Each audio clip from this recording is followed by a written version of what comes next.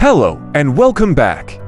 In this video you will learn how to convert HEIC to JPG in your Windows 10 or Windows 11 operating system. So without wasting any time let's get started.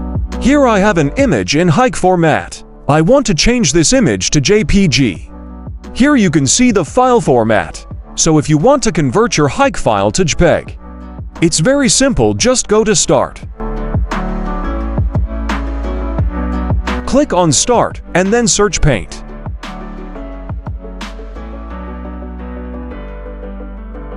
Open Paint app. Now drag your image to Paint.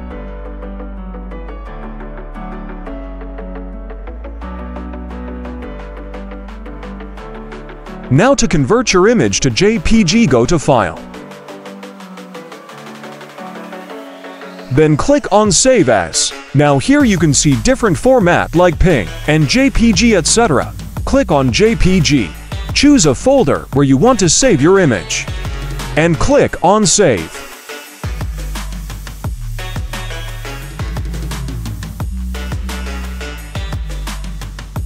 That's it.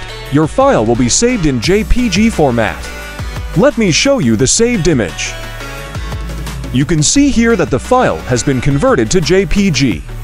If you found this video helpful please like this video and subscribe us for more.